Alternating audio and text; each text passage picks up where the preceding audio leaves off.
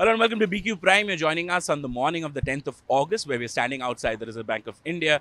Uh, just in a, a, little while, uh, the Reserve Bank of India Governor Shaktikanta Das uh, will announce what the MPC has decided uh, as far as the monetary policy uh, for India goes. Uh, now, this decision is expected to be a pause again by the Reserve Bank of India, by the MPC in the last two meetings as well, uh, there was a pause, and that is expected to continue. What economists are estimating that this pause is going to last longer than previously anticipated, primarily because of inflation concerns uh, that still uh, plague India. Now, in July, the retail inflation print came in at about 4.81 percent.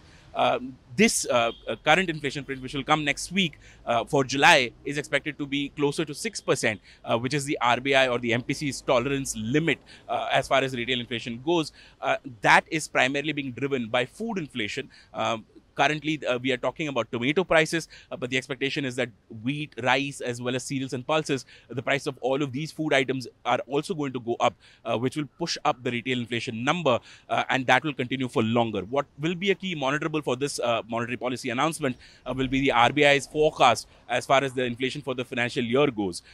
as of now, the forecast stands about 5.1% for the entire financial year of FY24, and if there is any change in this inflation forecast, that will be something that will be a key monitorable as far as uh, the MPC meeting is concerned. Uh, we will also watch out for what the RBI says as far as growth in India is concerned. Currently, for FY24, the real GDP growth estimate is set at about 6.5%. If there is any change on that front, then that will also become an important data point to watch out for.